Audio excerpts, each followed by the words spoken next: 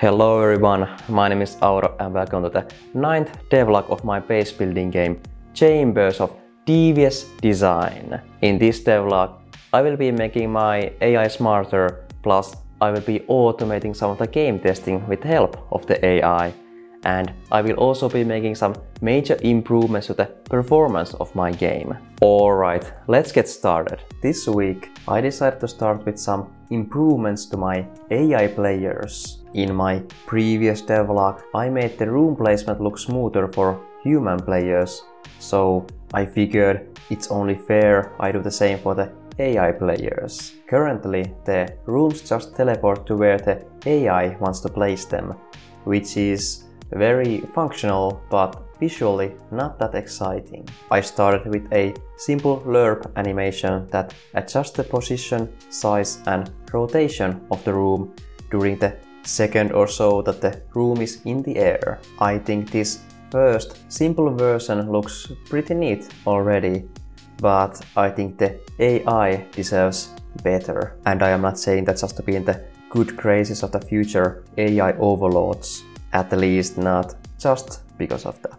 So next I made some small adjustments by increasing the speed and adding some easing to the movement speed, meaning that the movement starts a bit slower, then speeds up in the middle and then slows down again at the end. I also made it so that there's a small delay before the rotation and scaling of the room starts. These things might be hard to notice since the movement is so fast, but I think they help make it smoother. After that, I got an idea that wouldn't it look cool if the room stops before its final position and then slowly locks into where it wants to be. It's a small touch, but I think it adds a lot to the look. As if there's an invisible hand guiding the movement and making sure that the room fits just nicely. After that, I got the idea that moving the room in a direct line to the location has a very uh, robotic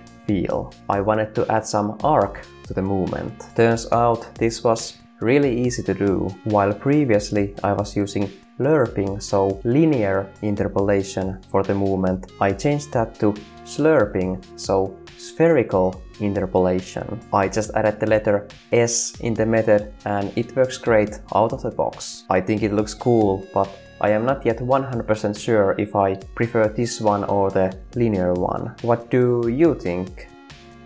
Which one do you think looks better?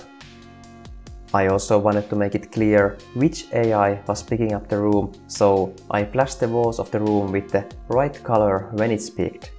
The colors don't really look that polished yet, so I'll probably still adjust them later on. With these changes, I think the AI placement animation is now done, at least for now. I had the pleasure of noticing that all these effects work well even when you are zooming in the game. My experience has been that usually these things need some additional tuning when you're messing with the zoom levels or causing some other type of movement. It was very refreshing to notice that I didn't have to do it in this case. As I was now done with the placement animations, I decided I would next start working on making my AI smarter. Currently, the AI just places a random room in a random spot. That will not make for a very challenging opponent. I want the AI to factor in different types of variables like how many points will the room give, can the room give some adjacency benefits somewhere, can the AI sabotage other players by placing the room somewhere specific,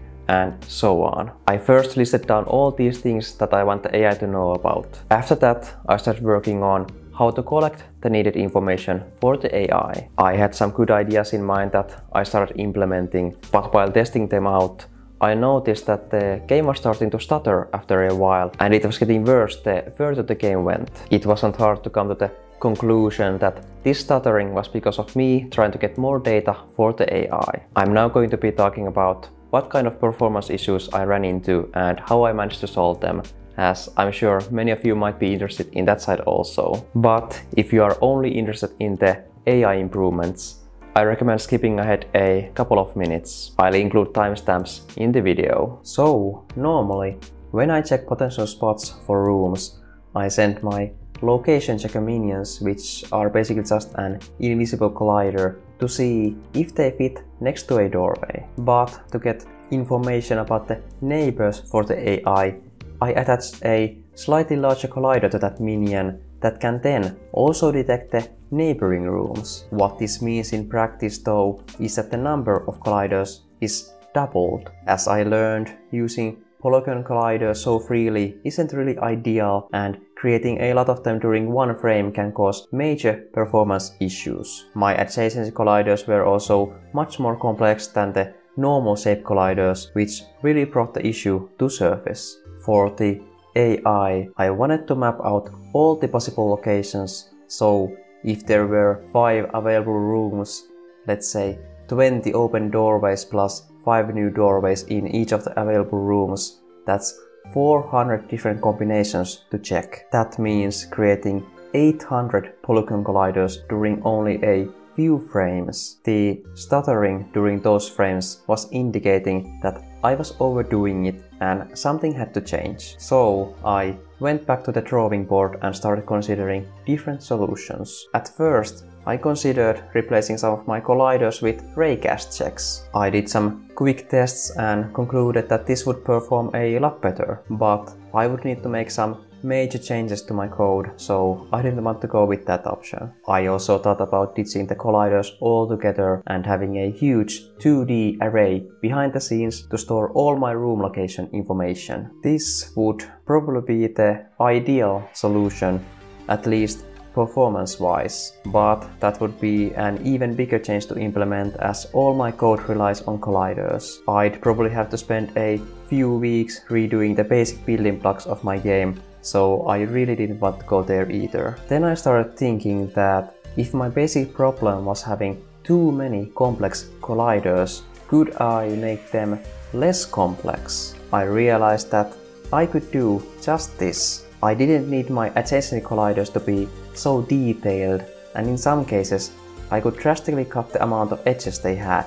The less edges they have, the better it is for performance. After simplifying the colliders, I did some quick performance testing and I was happy to see that the game was performing around 60% better during the collider creation. It was a major boost to performance, so I was really happy about that. It didn't remove the core problem, but it was already a major improvement. I still needed to verify that the new simplified colliders were working properly though. I set it up so that each room has both the new and the old versions of the colliders. I figured the old ones were so detailed that I could trust them as a good control version. I made it so that both the new and the old collider will be checked and if there's any discrepancy between them, I will be notified. At first, I was thinking about doing the testing manually, but I quickly realized that that would be a very tedious and a time-consuming task. So instead,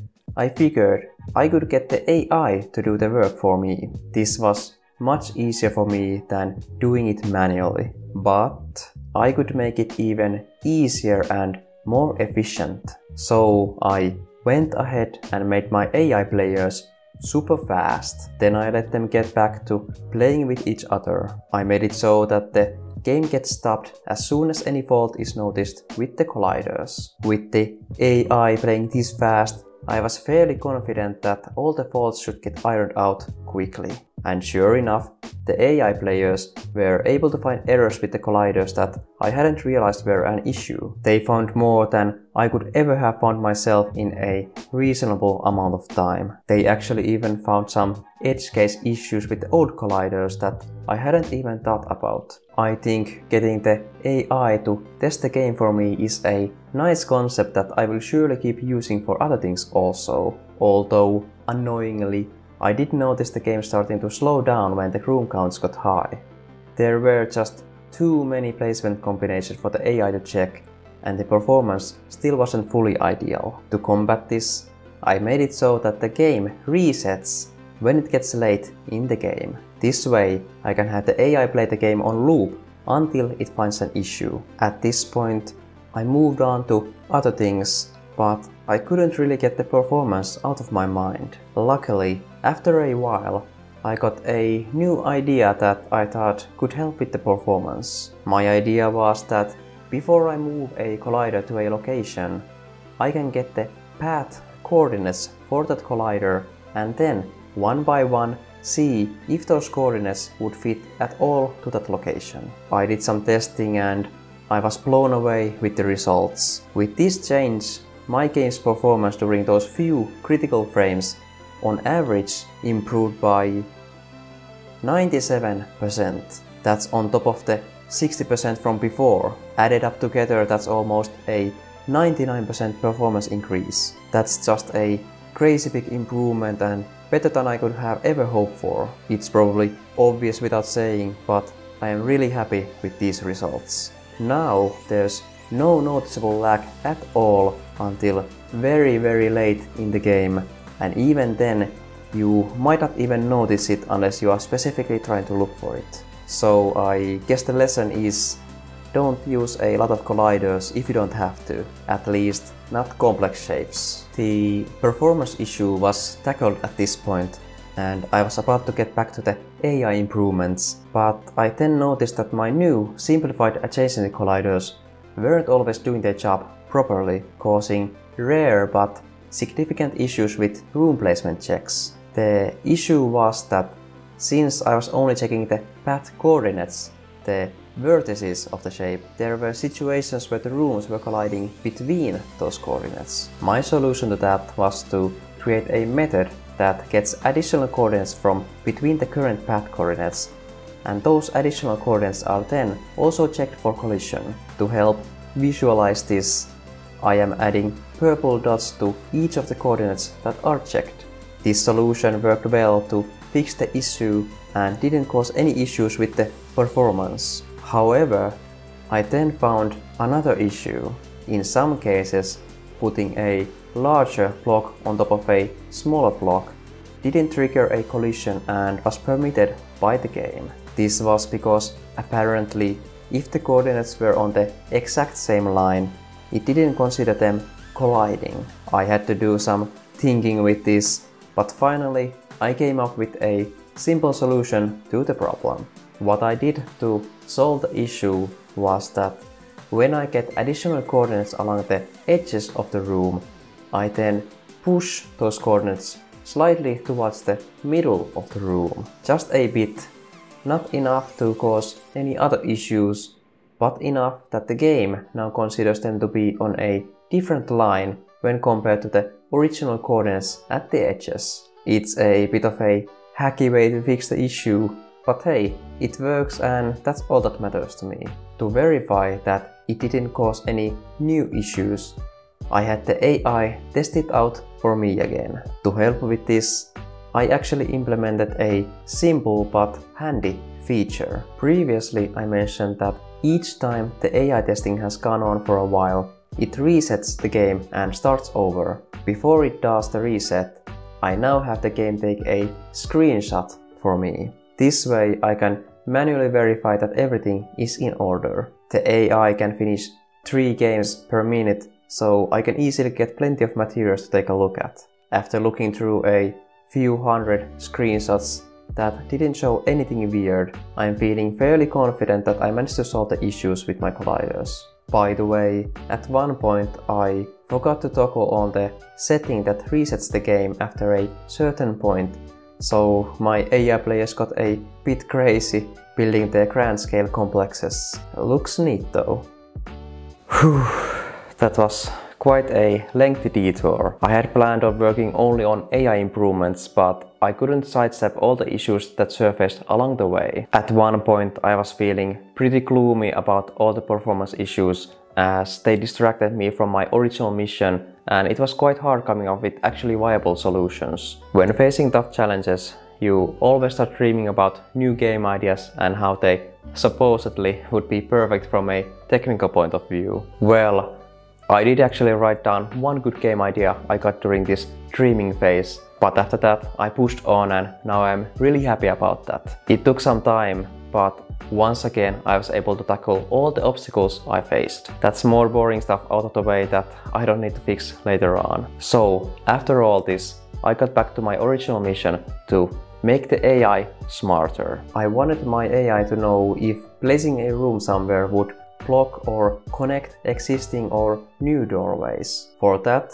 I needed to know where the doorways from a new room would be located if the room was placed there. To get this information, I had to do some math with vectors again. It wasn't very enjoyable, but at least I got to see some pretty patterns thanks to it. What I am doing here is checking which doors fall under the adjacency collider of the room we could place here. If the door collides, I check what the distance of that door is from each of the doors in the room that we could place here. If in any of these checks the distance is very short, I can deduce that that door is a connecting door, which is a good thing for the AI. But if the distances are long and yet they still collide with the adjacency collider, I can deduce that those doors will get blocked by the room we want to place, which is a bad thing for the AI. Giving the AI this information should improve its placement capabilities by a